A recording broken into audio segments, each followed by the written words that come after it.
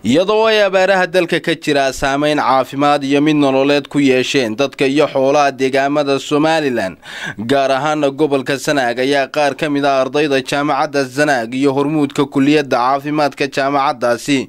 Waxay gargaar caafimaad ugu baxeen deegaanada galbeedka degmada ceergabo sida deegaanka caduur halgaab kala rogta iyo degmada yufle waxayna goobahaasi markii ay gaadheen kooxdan ka socotay qaybta caafimaadka ee jaamacadda sanaag oo iyagu isu soo abaabulay. Sidii ay gargaar caafimaad u gaadhsiin lahaayeen dadka deegaamadaasi ee la tabaalaysan caafimaad darrada ka soo wajahday abaarta waxay daaweyn iyo baadhis caafimaad ku bilaabeen dadkii ay goobahaasi kula kulmeen oo caafimaad darro ka muuqatay. Maxay ahayd dhaqaatiirta uu hogaaminayo mustafe aw muuse maxay ahayd toy dhaqaatiirta faraha badan ee sida wacan ee wanaagsan miyiga iyo magaaladaba isugu timi. Magaaladan la yidhaahdo yifle. Dhaqaatiirta noo soo kordha caafimaadka. Salaamad baanu ka siiya laabta ka soo goday baanu gudbinaynaa naga guddooma. Kalka alle. Qoladan caafimaadka ee noo timi aad iyo aad baan u mahadinaya waana shaqadu iyo dadaalkuna inay halkaa nooga sii socdaan ayaanu jecella tiro ahaan goobahan tagnay waxa weeyaan afar goobood ama shan gooboodba. M c h ka oo laba goobood aan ka shaqaynay iyo saddex goobood oo ah out kaanada ka baxsan kaanada magaalada yufle kuwaasoo ay dadku u baahnaayeen barnaamij caafimaad.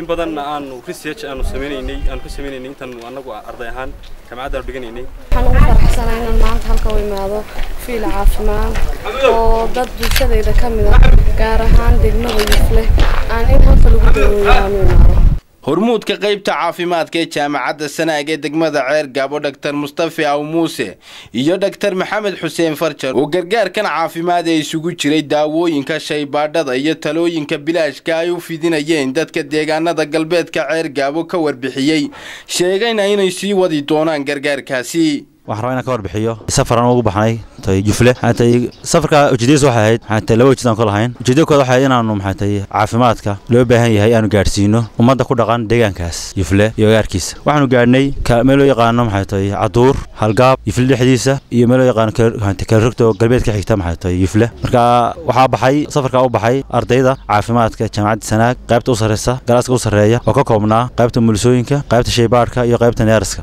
halkan waxaan kala kulannay dad aad u badan oo ay hayso baahi caafimaad. Dadkaas cuduro kala duwan baa hayey runtii qiyaastii markaanu qiyaasno qiyaastii waxay ahaayeen afar boqol ilaa shan boqol qof u dhexeeyey. Marka shaqo aad u badan ayaan u soo qabannay. Shaqooyinka qaban waxaa ka mid ahaa inaanu siinay dawooyin bilaasha oo dadka bilaash lagu soo daweeyey. Waxaan kaloo shidanay shaybaadhkii oo bilaasha. Dad qiyaastii boqol qof gaadhay ayaanu soo baadhnay. Marka barnaamijkan waxa weeye barnaamij socon doona insha allahu tacaala oo meelo kala duwan loogu bixi doono oo deegaanka.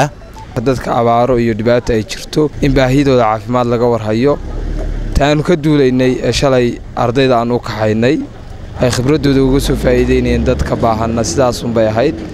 Waxaan u mahad celinaynaa cid walba oo gacan ka geysatay. Waxaan aad ugu mahad celinaynaa ardaydii soo ururisay ama ka qayb qaadatay contributionkii ay wax walba ka howlgaleen ee keenay inay u oggolaadaan ardayda inay shaybaadh dadka bukaankaa shaybaadh bilaasha siiyaan intaa wixii ka dambeeya waxaan u mahadnaqaynaa saxaafadda oo ugu horreyso star t v oo ahaa goobjooge ilaa intii aanu hawshan bilownay ilaa dhammaadkeedii.